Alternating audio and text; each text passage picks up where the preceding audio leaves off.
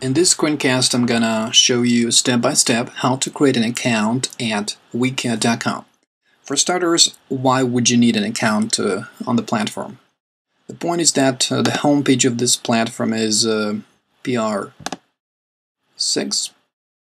and domain authority is 90. If you uh, place your link on uh, on this website, uh, it is, is going to show Google that your site is a decent one and a reputable one as well. Basically, it's just going to transfer uh, some Google juice from uh, to your website. So let's get the ball rolling. Just click on sign up.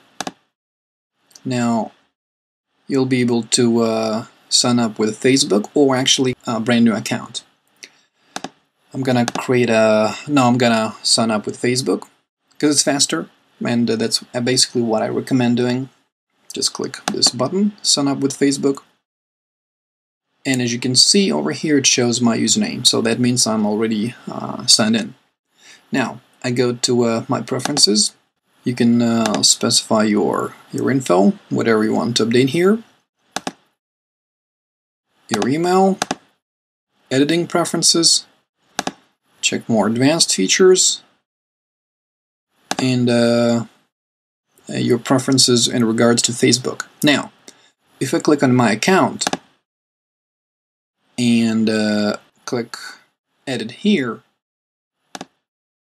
I'm able to specify my name, where I live, my birthday, and so on. And what is more important, the most important, is that you can specify your personal website. And basically, that's going to be uh, the website that you want to put a link to uh, from wikia.com. I'm just going to use my LastPass feature to uh, fill out the form. And here it puts my site address. I'm going to use a link to actually to my actual blog. And that's pretty much okay. I just messed up the the actual Twitter handle. Handle. I'll fix it a little bit. Okay, here it's uh, Los Angeles. SEO, mail, oops, and um, pretty good to go.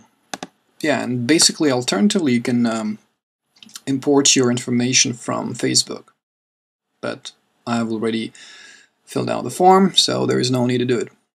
I click Save, I'm done. Just wait a second. And now, as you can see, the information is populated right here. I can just click on my website and it redirects me right to webdesy.com blog. So that's basically how you can easily create an account from a very reputable site. So again, you need it because it's reputable and uh, a link from such a website uh, shows Google that your site uh, deserves uh, to be considered a decent one as well.